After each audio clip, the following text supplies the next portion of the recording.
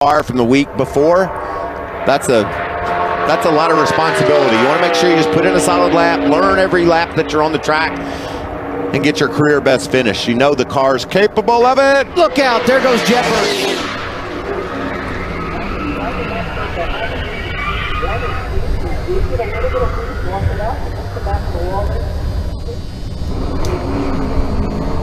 Jamie? Well, Jeb Burton just said on the radio, Adam, it went down again. So they've obviously got something rubbing there in that left rear. Second time he's lost a tire here today. Yeah, we see a lot of smoke from several of the cars on that left rear.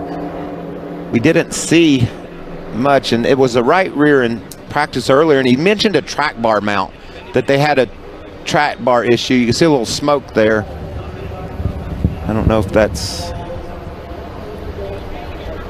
they, said they had an issue with the track bar of some sort, so we'll see if they can diagnose that as the problem and get it squared away. I think they can repair that damage, Adam.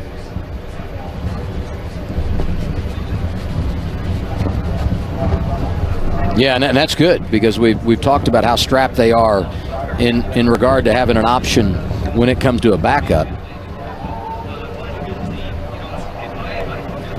Now, now keep this in mind he might be behind the eight ball in regard to points, but but there is a second level of the championship provisional. Hemric's the only guy that qualifies for that. Then it defaults to drivers who have won last year. He would fit in that.